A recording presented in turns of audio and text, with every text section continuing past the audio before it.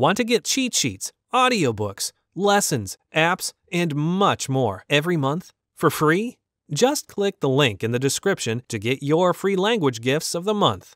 Hi everyone, welcome back to Korean Top Words. In this lesson, we'll be talking about top 10 phrases to know when having a baby. Let's begin. 모유 수유를 하다, to breastfeed. 모유 수유를 하다, to breastfeed. I heard that more and more mothers are um, doing the breastfeeding these days because it's um, good for their kids. In a sentence, you can say, 엄마가 모유 수유를 하고 있어요. The mother is breastfeeding. 기저귀를 갈다, to change a diaper. 기저귀를 갈다, to change a diaper. In a sentence, you can say, 기저귀를 하루에 여러 번 갈아요. Which means I change diapers many times a day. 턱받이를 채우다 to put on a bib. 턱받이를 채우다 to put on a bib. In a sentence you can say 우리 아이에게 턱받이를 채우는 게 힘들어요. Which means it is hard to put on a bib on our baby. 옷을 갈아입히다 to change clothes.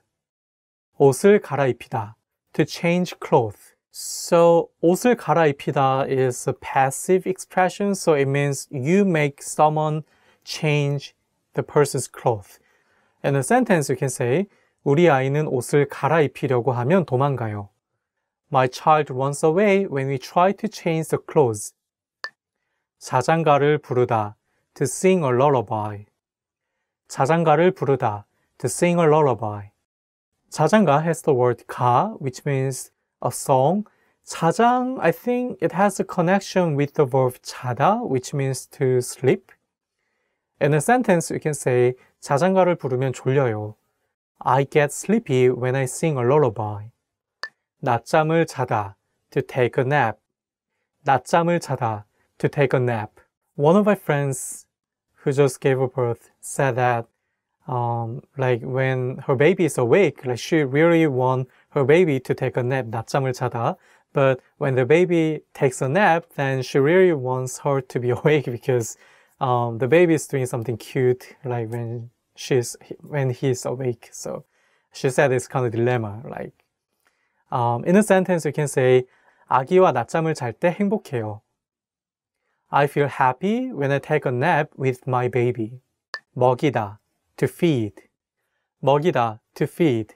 I think you know the verb 먹다, meaning to eat, and 먹이다 is the passive form of the verb 먹다. So it means something like to make someone eat. So it means to feed. In a sentence, you can say 이유식을 먹여요, which means I feed them baby food. 유모차를 밀다, to push a stroller. 유모차를 밀다, to push a stroller. Now, these days we just say babysitter when we want to say something about babysitter, but in the past, people used the word 유모 when they want to call someone who is taking care of a baby. Um, so 유모차 means something like babysitting car, literally. In a sentence, you can say 유모차를 밀어줄래요? Could you push the stroller?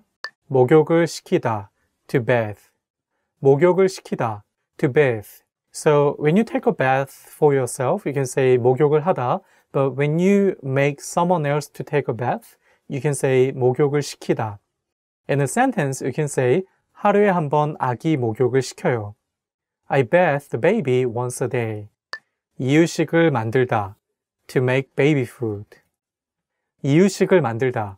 To make baby food. One of the popular baby food in Korea is bunyu, which means powdered milk. But these days, more and more people make their baby food by themselves for, you know, giving better like food for their baby. So in a sentence, you can say 채소로 이유식을 만들어요. which means that I make baby food with vegetables. That's all top 10 phrases to know when having a baby. I hope you like some of the words that we introduced in this video. Make sure to subscribe and we'll see you in the next video. 다음 시간에 뵙겠습니다. 안녕히 계세요.